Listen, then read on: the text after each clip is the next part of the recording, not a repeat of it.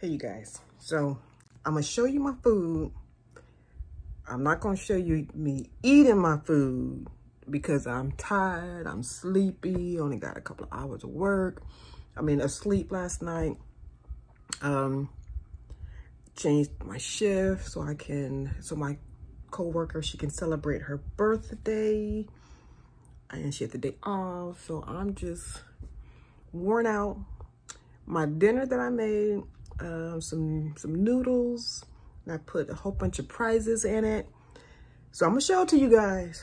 Don't, but, but, but, but, do not, I repeat, do not be yucking my yum yums because it's good. And I just put it together.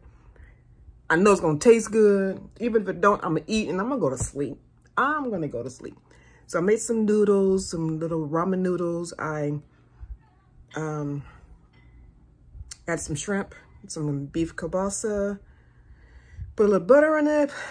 I made it like a soup. I made it like a soup. Put some broccoli in it, some um, chili, oil. What else did I put in there? I boiled an egg, but when I cracked it open, it was still running. And if I wasn't tired, I probably would have eaten it, but um, I don't want it.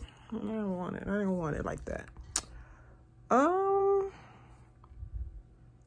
the seasoning packet, I put a little bit more garlic powder. Oh, I shredded some um, ginger and some garlic, fresh garlic, fresh ginger, and added it also. Mm -hmm. All right, so I'm gonna turn the camera around so you guys can see. So here's my num yums. Here's my yum yums. I can't find my chopsticks, but you see the kielbasa, the beef kielbasa sauce there, my um, broccoli. You see there is a chili oil. I have some shrimp. The noodles are on the bottom.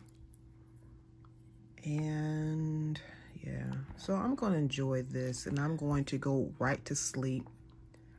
Right to sleep.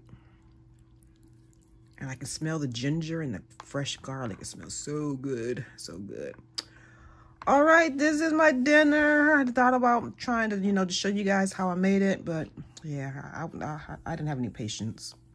No patience and plus i didn't put it together right anyway. All right have a good weekend. Talk to you guys later